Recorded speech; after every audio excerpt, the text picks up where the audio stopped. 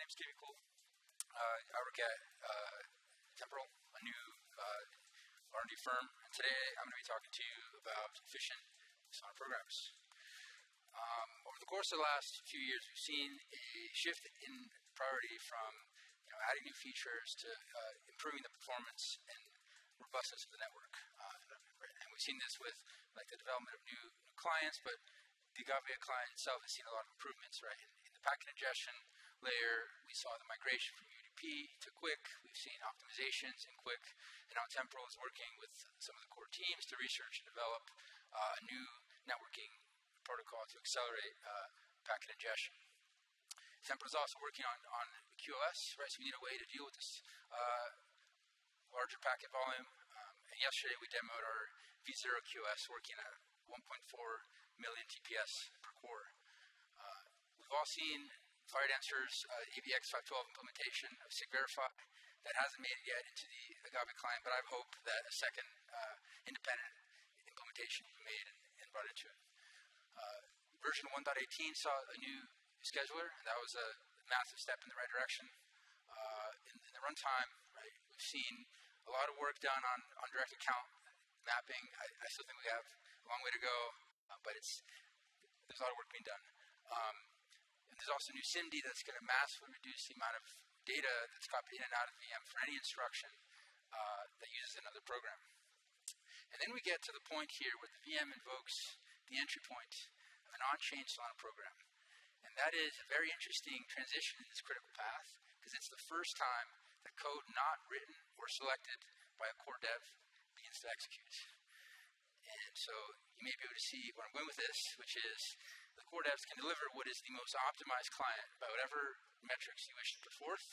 But if the on-chain programs are inefficient, we will not realize the vision of Solana as, as blockchain for global scale. Uh, a lot of the programs on mainnet uh, inherit inefficiencies from the current tooling, right? So the compiler, the core abstractions in Solana program, um, and the program frameworks all each independently inject unnecessary or suboptimal code and, and bloat the executable. It's been a, a massive effort, very successful, to improve the developer experience on Solana, but it is now time to make performance a top priority. So I'm here to announce Peregrine, uh, a, a, framework for efficient Solana programs. Uh, so this, you know, gets uh, fixes a lot of the inefficiencies, and it has enough utilities that you know it stands alone as, as a framework. Any instruction or account data that it, it, touches is all zero copy.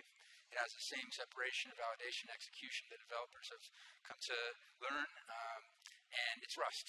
It's not proc macros. It's not BPF assembly. So you can just write performant, readable, maintainable, extensible code, and that's the goal. Uh, you may have heard of it, uh, this token program that I wrote, uh, NanoToken. Um, this was sort of the first application of these uh, principles. And with these techniques, we were able to reduce the size of the executable almost by a factor of three compared to SPL, and almost by a factor of four compared to a totally new blank anchor uh, program. It uses 100 times less block space per transfer, and even with all the overhead of the current Agave VM, it still does 54,000 transfers per second on a single core. So this is totally parallelizable across distinct token account pairs. So add an 8, 16 execution threads, and I'll let you do the math. Um, in addition to this, I'd like to announce the Solana program Cave. So this is just a collection of very simple programs uh, that just illustrate these techniques. Um, you know, just some simple ones that you may have seen before. And there'll be a few primitives in there that have never been seen yet on, on Solana.